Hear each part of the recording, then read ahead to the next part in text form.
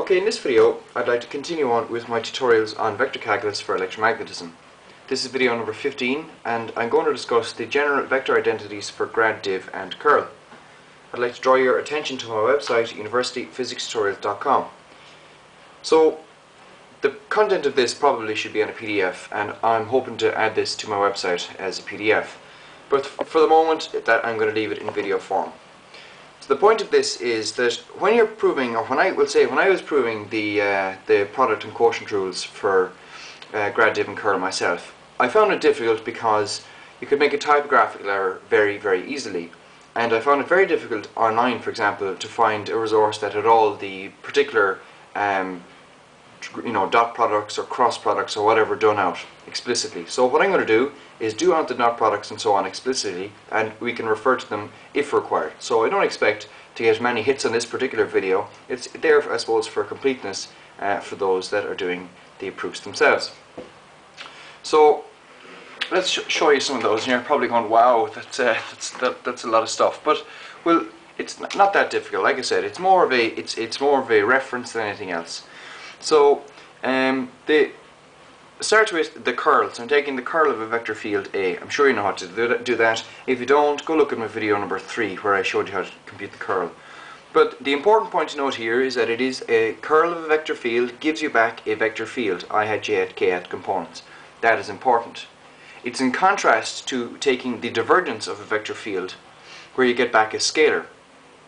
Note, by the way, just for, for completeness, I've noted exactly what I've defined my A uh, vector field to be. A sub x in the i hat, A sub y in the j, and A sub z in the k hat direction. Then taking the gradient of a scalar field will give you back a vector field. That's very important as well. So curl gives you a vector field, the divergence gives you a scalar field, but the gradient gives you back a vector field. And note by the way, I'm taking the gradient of a scalar so A is a scalar, so it doesn't have, it isn't this, it isn't the vector field A, it's a scalar A, or scalar field I suppose maybe. So next um, we have the dot product between a vector field A and the nabla. So I'm defining your nabla operator as del del x in the i hat, del del y in the j hat, and del del z in the k hat. Notice of course that our dot product picks out a scalar, or gives us back a scalar field. So if a sub x ddx plus a sub y ddy plus a sub z ddz with no components i hat, j hat or k hat. Next, taking the dot product between two vectors, that's pretty straightforward. If you want, you can look at my, my video number two where I discuss the dot product.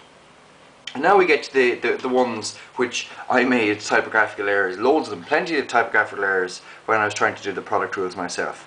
So for example here, so I'm taking the, I'm multiplying the vector field A by the scalar fields created by taking the dot product or the divergence of, of, of the vector field B. So the divergence of B is a scalar, and multiplying it by A gives you back a vector field. So I have I hat, J hat, K hat components. Now, um, so just this it's just there for completeness, but notice we have one, two, three, nine components in total. So it can be difficult to make sure that you don't have uh, you don't have typographical errors. And if you want to swap, so you want to have b multiplied by the divergence of a, just swap all the b's and a's um, by symmetry is pretty straightforward. So similarly, if we want to take the curl of the kind of the, the cross product of the curl of b. So notice by the way this time there's a minus sign here, that, that's very important. But once again, it's just there are nine or this, excuse me, in this case there are 12 terms uh, and it's very easy for you to make a typogra typographical error. So they're all there. I think it's pretty pretty neat, pretty straightforward. So they're there if you need them. And finally then, if we take the divergence of the curl, so we're taking the, or not the, excuse me, I keep, um, I keep automatically saying that the dot product is, is the divergence, but it's not. So we're taking the dot product between the vector field A and the vector field produced by the cross product, uh, or the curl of B, we'll say. And this gives us 1, 2, 3, four, five, six terms. So they're there for completeness. So what I'm going to do now is prove some of these just, just so that we're all singing off the particular same hymn sheet.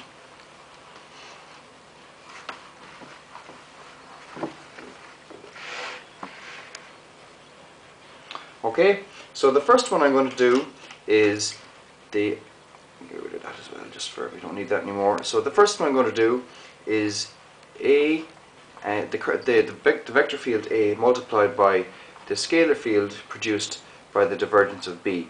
So this here, that's a scalar, and this is a vector.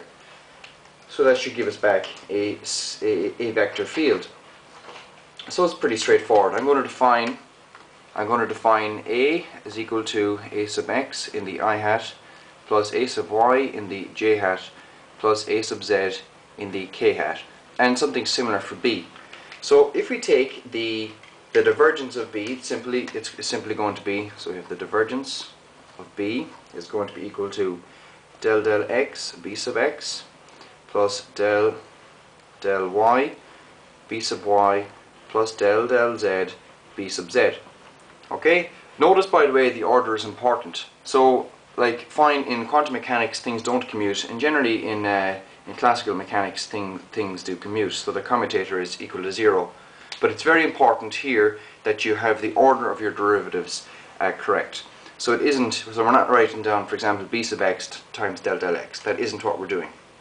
Because del del x is our operator and it's important to know what is actually being in this case differentiated so what we're going to do now is multiply multiply a times the divergence of b.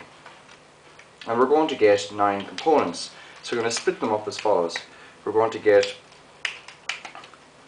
a sub x del del x times b sub x plus a sub x del del x times b sub uh, excuse me del del y times b sub y plus a sub x del del z times b sub z. This is going to be in the i hat direction because we're multiplying the three components of A by each of these these three components.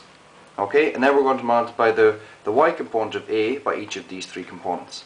So in the j hat direction, it's simply going to be a sub y del del x b sub x plus a sub y del del y b sub y plus a sub y del del z b sub z and that's of course in the j hat direction. And finally then, the in the k hat direction we're going to get a sub z del del x in the times b sub x plus a sub z del del y b sub y plus a sub z del del z b sub z. And of course that's very straightforward and very easy. But the thing you know that you could make a typographical error on is the order of these and you might also you might also not immediately realize that the actual fact you're going to have nine, uh, nine parts or nine components to this. So that's that one. Pretty straightforward, of course. So if you want to get the, if you want to swap between B and A, just you just use symmetry.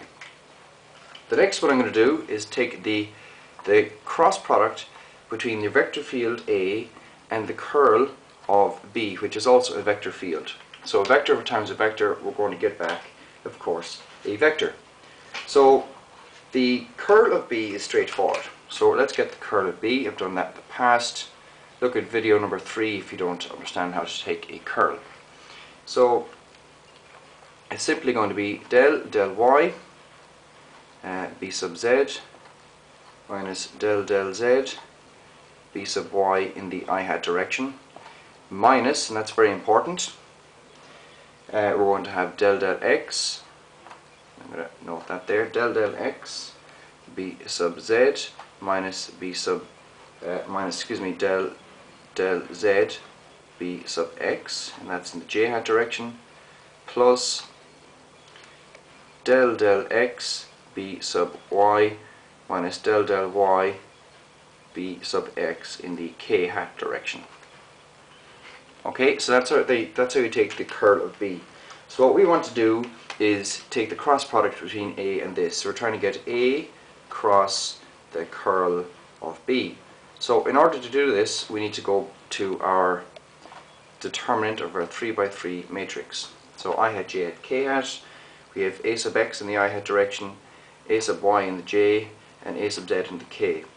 But here what we have is del del y, B sub z, minus del del z, B sub y. Now we're going to have we're going to have we'll say this this term here what I'm going to do for convenience is bring in the minus sign so swap the order of the uh, of the components I'm sure you can understand that and finally del del x b sub y minus del del y b sub x. And what we need to do is take the, the, determinant of this particular 3 by 3 matrix. Now look, it's very easy to do, so I'm actually only going to do, look I will actually, I'll do the full thing, I was, I was kind of hoping not to, but I suppose I'd best do the whole thing. So we're going to get back 12 terms. So we're going to get a sub y del del x uh, times b sub y minus a sub y del del y b sub x minus a sub z del del z b sub x plus a sub z del del x b sub z and this is in the i hat direction and to be honest I'm actually after realizing of course that I've written the whole answer in at the, at the start of the video so just this is just a pretty simple, simple cross product. So I'm only going to do the i hat direction. So what we did was we blocked out everything going through i hat like this, and then we take the determinant of the 2 by 2 matrix left over. So it's going to be a sub y times this and this, minus a sub z times this and this. So it's minus, giving us a minus, but a minus times a minus gives us a plus. So that's how you take the curl, or sorry, the cross product between a and the curl of b. Okay, moving along. If I want to take the, uh, this time I'm going to go for B with the dot product of the curl of A. Alright, so we saw what the curl of A was, or the curl of B a moment ago. So this time we're talking about the curl of, uh, which one am I going to do? No, I won't do that one. I'll do this one. Just looking at my notes here, I suppose. So I want to take the dot product between A and the curl of B. The curl of B. So I showed you what the curl of B was in the previous video. So very simply, we're going to have A sub A, we're going to have A, A sub X in the I, plus A sub Y in the J, plus A sub Z in the K. And what we're going to do is take the dot product of that with the uh, the I hat component, the J hat component, and the k-hat component of the curl of B. Okay, and that's actually pretty easy. And just to give us, let's say the, uh, let's talk about, oh, by the way, notice of course that this is going to give us a scalar.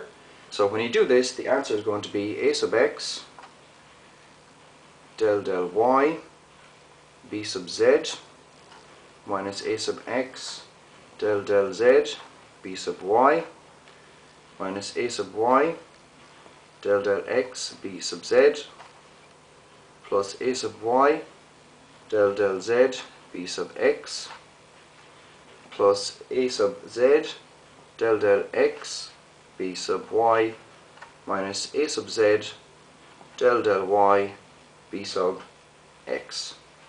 Okay? And of course this is that's the, that's the whole thing. There are no there are no vector components because of course it's a scalar. And finally, I know I'm pushing on through this quickly, but I'm sure it's pretty straightforward. What I'm going to do is I'm going to take the, uh, the dot product between our vector field A and the nabla, and then I'm going to multiply that by the vector field B. Alright, so how do we do this? Well, it's very simply going to be a sub x del del x plus uh, plus a sub y del del y plus a sub z del del z. That is going to be the, the, the dot product between A and the nabla. Notice of course that it is a scalar field. But what we're going to do is multiply by b sub x in the i hat, b sub y in the j hat, and b sub z in the k hat direction. So what we're going to get back in this case is a vector field. So in the i hat direction it's simply going to be a sub x del del x b sub x plus a sub y del del y b sub y or del del y b sub x excuse me plus a sub z del del z b sub x and that's in the i hat direction and I'm sure you can do the rest by symmetry it's pretty straightforward so that's just to show you how to do them I, am not showing you how to do it explicitly because I'm sure if you're the level that you'll be requiring these, you can, you can do it pretty straightforward yourself. So, thanks for watching. Please pass it on to your friends, subscribe to my channel, and you might also visit universityphysicstutorials.com.